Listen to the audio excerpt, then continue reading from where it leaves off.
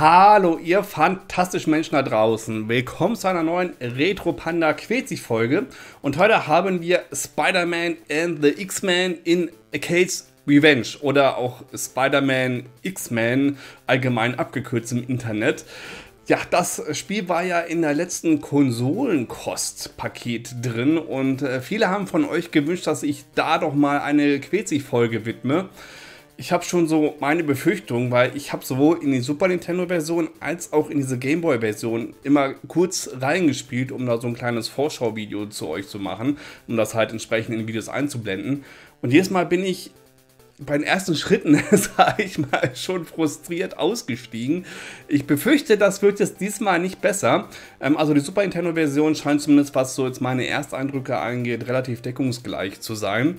Ja, das Spiel wurde von AJN veröffentlicht und äh, viele von euch werden jetzt schon äh, ja, äh, eine leichte Panik im Kopf haben, denn der AJ, äh, der AJN, der enge Videogame-Nerd hat ja schon äh, das so ein bisschen sehr beschrieben dass LJN eigentlich fast nur schlechte Spiele gepublished hat. Es gibt natürlich auch Ausnahmen, klar, aber die meisten sind schlecht. Und wir starten hier mit Spider-Man. Ich schätze mal, später wird man noch X-Men ähm, spielen. Und zwar seht ihr, wir können uns hier ganz normal bewegen, springen. Grafik technisch geht in Ordnung, finde ich.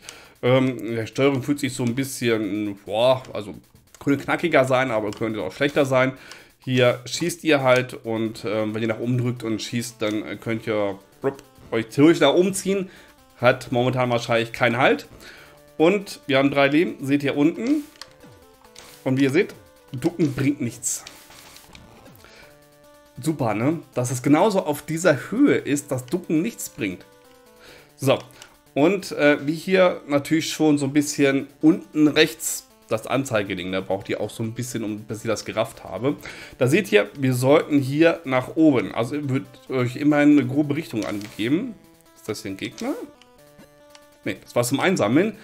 Aber von der Optik her sah es dann durchaus wie einer der Gegner aus, ne? So, kann ich das einsammeln? Weiß ich nicht. Irgendwie ist so geduckt schießen fast deckungsgleich mit äh, normalen Stehen schießen, oder? Hm. Jedenfalls, soweit habe ich schon gespielt. Ist das ein Gegner? Ja, es ist ein Gegner. Trefferfeedback ist natürlich auch Mist. Ne? Also normalerweise sollte es ja so sein, dass irgendwie Gegner ein bisschen blinken oder irgendwie sowas. Und so weiß ich gar nicht, habe ich jetzt überhaupt Schaden gemacht oder nicht. Ist immer fantastisch. So, ich nehme an. Natürlich. Also, kurze Erklärung. Ich habe gerade versucht, im Springen habe ich versucht, hier diesen nach oben, ich hangel mich lang zu machen. Was man ja so bei Spider-Man eigentlich vermuten würde. Aber nein, das geht nur, wenn er steht. Warum? Warum geht das nicht, wenn ihr springt? Was finde ich relativ intuitiv ist, weil ich bin jetzt kein Spider-Man-Fan, äh, der größte, aber er springt doch auch immer zuerst und schießt in seinen Spinnenstrahl, keine Ahnung wie das heißt. Das heißt, ich müsste jetzt hier wahrscheinlich gucken, Habt ihr das gesehen, wie die Animation, wie das etwas bescheuert aussah? Aber gut. Dann sind wir hier in diesem Labyrinth gefangen. Hier kann ich auch hier die Wand entlang klettern. Gehe natürlich nicht hoch. Gibt es Fallschaden? Ich bin mir gerade unsicher. So, jetzt bin ich hier unten. Und kann mich jetzt weiter nach unten durchkämpfen. Ist natürlich jetzt sehr schön, schön labyrinthartig gestaltet, was natürlich immer fantastisch ist, besonders schon so als erstes Level. Okay. Okay, hier. Also anscheinend scheint dieses Langschwingen sehr begrenzt zu sein. Anscheinend gehe ich mal davon aus, dass das nur an bestimmten Stellen geht, weil wenn ich hier nach oben schieße, bewegt er sich immer nur so ein bisschen. Dann merkt er wahrscheinlich, okay, da ist nicht genug Platz zum Schwingen. Also ich nehme an, da muss ich halt wirklich am Abgrund stehen oder irgend sowas. Und weil hier natürlich jetzt kein Halt ist, also wie gesagt, das Rumschwingen, wenn ich mir Spider-Man vorstelle, will ich überall rumschwingen und wirklich Spaß haben. Und sehe ich jetzt nicht so. Und vor allem, ich kletter in die Wand hoch, ne? Wenn ich jetzt weiter nach oben drücke, geht nicht. Geht einfach nicht kann jetzt aber auch nicht vernünftig hier auf diese Plattform springen, weil ich dann immer gegen diese Plattform hier stoße. Jetzt ist natürlich die große Frage, wie, wie komme ich da jetzt hoch? Warum, warum ist das... Kann ich hier das irgendwie... Ich kann das hier unten auch nicht zerstören oder sowas? Also, bin ich jetzt hier unten gefangen? Wenn ich jetzt hier springen drücke, geht's auch nicht. Also, Spider-Man verbinde ich wirklich eher mit sehr flockigen Bewegungen und gutem Navigieren durch, durch Umgebung. Auch geil, ne? Wenn, wenn er springt und dann zur Seite drückt, dann könnt ihr da durch springen. Aber so geht's nicht. Aber, aber, oh! Jetzt habe ich genau den richtigen Winkel getroffen, dass ich da wieder hochkomme. Macht Spaß. Okay.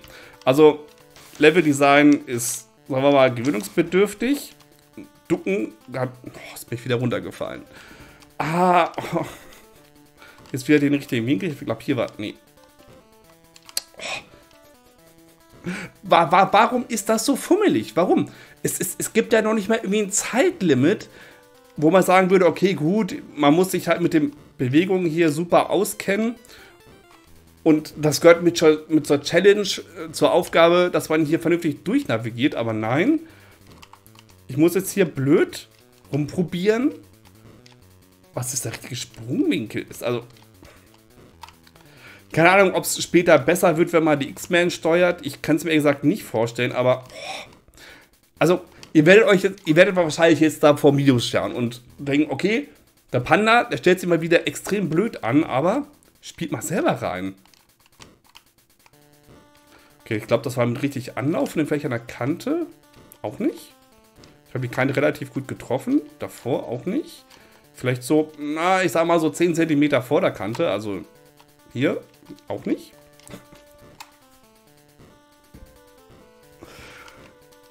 Ich, ich habe euch vorgewarnt. Ich habe euch vorgewarnt. Kann ich hochklettern? Nein. Da ist natürlich die Plattform im Weg, wo ich sonst halb durchspringen kann. Oh.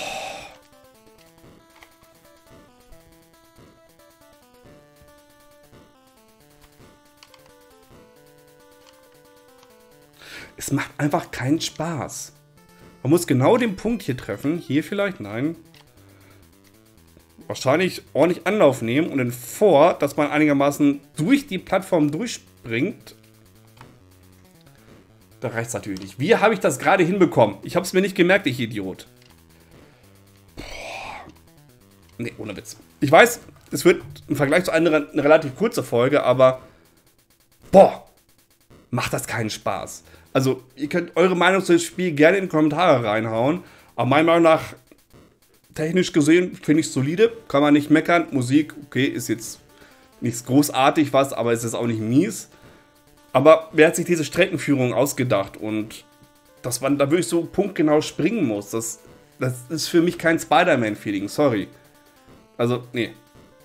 Trotzdem, danke, dass ihr reingeschaltet habt und ich wünsche euch noch einen wunderschönen Tag, egal was ihr noch vorhabt, ihr Lieben. Tschüss.